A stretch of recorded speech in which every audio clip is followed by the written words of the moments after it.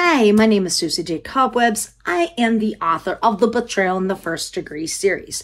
I am so glad that you came and hung out with me today. So today's video is going to be a writing tip and it is about writing groups. Writing groups are very important for many, many, many different reasons. And I think the most important, it is the art. The common interest with this whole idea is the art of writing. Would you be interested in getting together as a writing group?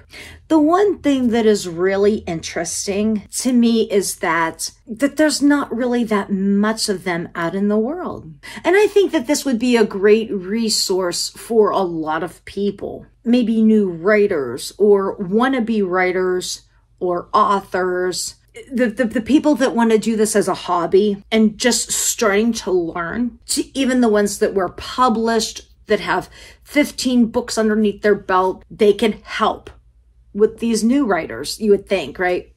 I mean, besides the genre, the art of writing or the process of writing is still basically the same. Are you a writer?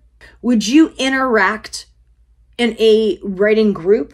When I talked about this being a good resource tool, this would also be good and helpful for making you accountable for your writing journey. So you have to get through the different challenges and obstacles.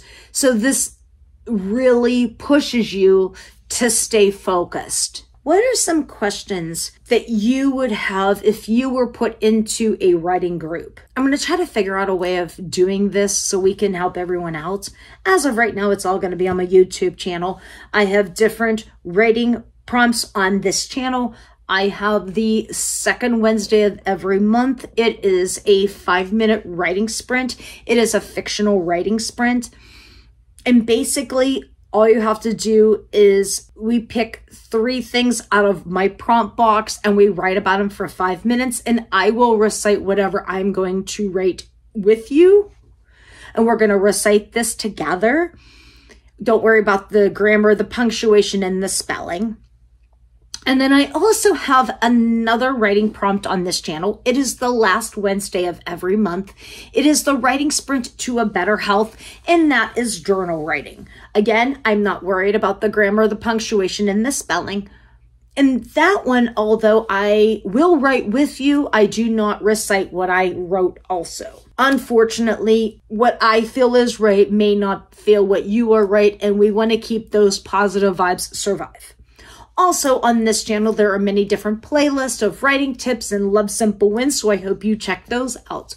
So these are writing avenues that I have started and implemented onto my YouTube channel. So I hope we get one more going. If you have any questions or comments, by all means, put them in the comments below. If you like these videos and you want to see more of these videos, by all means, hit that like button, hit that subscribe button, hit that post notification button so you can stay on top of all the different things that I post. And to the next time, love you bunches.